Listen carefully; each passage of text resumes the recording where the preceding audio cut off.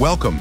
In this video, we'll show a new feature introduced in MatrixGold 3.9 that significantly improves how mirror and polar array commands behave when working with stones on different planes. To demonstrate the difference, I've set up two virtual machines, one running version 3.8 and the other running 3.9. I'm using the exact same file in both versions to show the improvements side by side.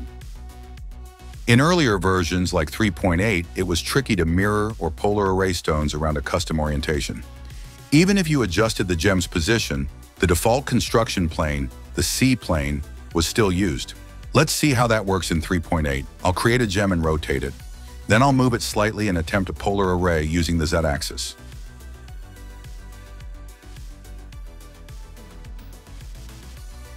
Notice that the array is based on the original global Z plane not the gem's new orientation.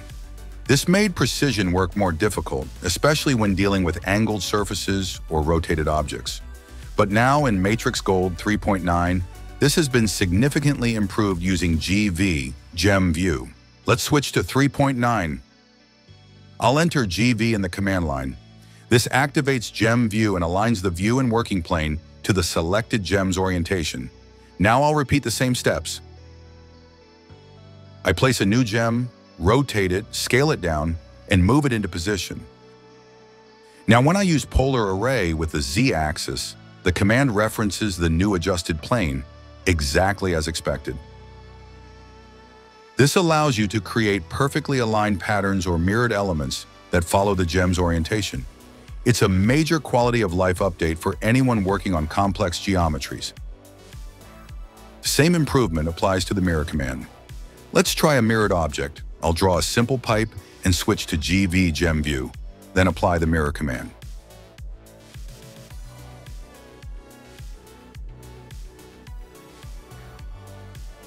The result? The object is mirrored accurately based on the new local C-plane. This is far more intuitive than in 3.8, where the global construction plane was always used. For comparison, let's try that same mirror in version 3.8.